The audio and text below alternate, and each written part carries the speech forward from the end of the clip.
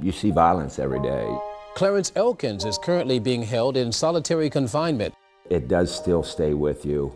Again, has been there for seven years, missed a lot of Christmases, a lot of time with his family.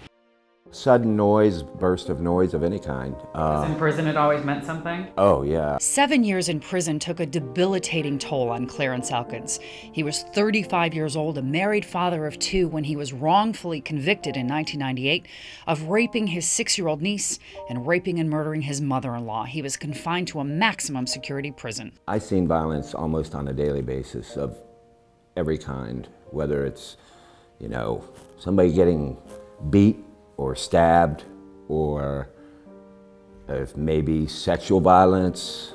Uh, I've seen a lot. I mean, and while I was in there seeing all of this, I always thought if I ever got proved my innocence and walked out of the prison, that I would be just like when I walked in.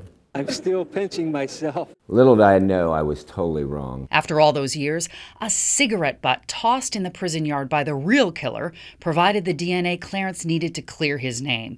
It was over, or so he thought.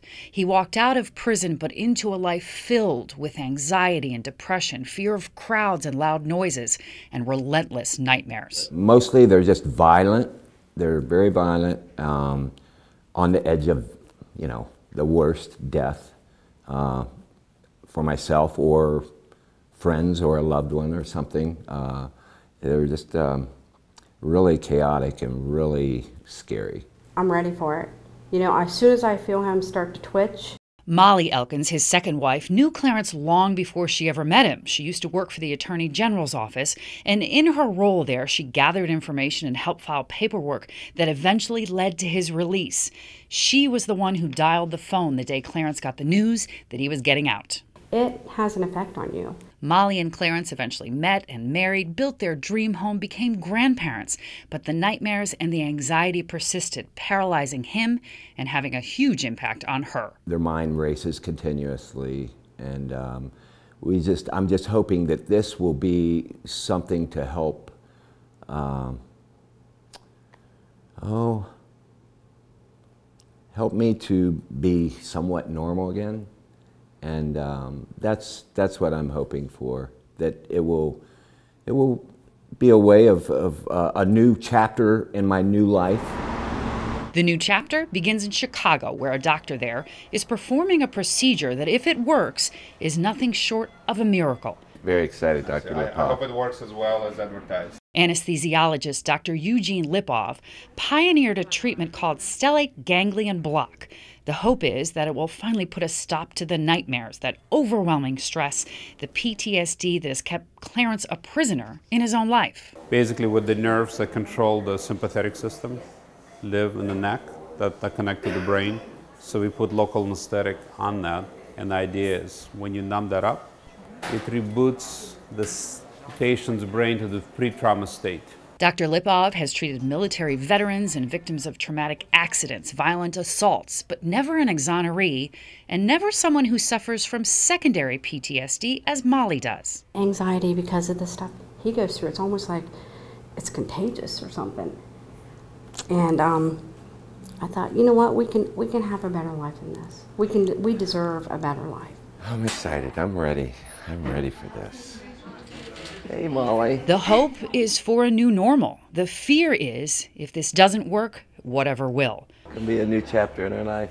After one last sleepless night, the Elkins prepare for the procedure. Love you.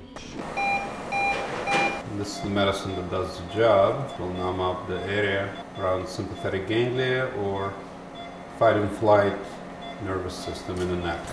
Okay, all done.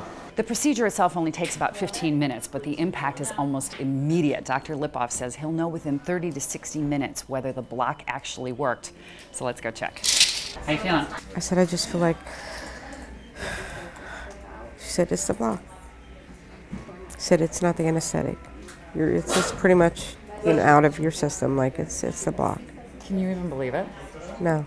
Within an hour, Molly feels the effects a calmness, the constant internal jitters vanished. Clarence at first is unsure. He lies there for a few minutes, imagining the stressful situations that set him off. A big trigger for him, any mention of the prosecutor on his case. And there it is the miracle moment.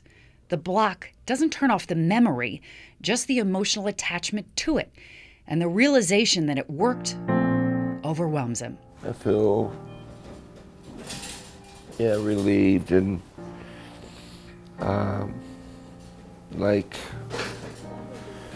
like a weight's been lifted off of my back and uh, off my memory, I could say, I guess. Um, yeah, I'm just, I'm just looking forward to a better life. The tears that haven't come in years, the sense of normal he never thought he'd get back. As he describes it, like night and day. Clarence hopes it's a breakthrough not only for him, but for other exonerees. I just think it's, it's I'm on the right track. I do already. I think I'm on the right track. And I'm very excited and emotional for that. In Chicago, Stacey Frey, Fox 8 News.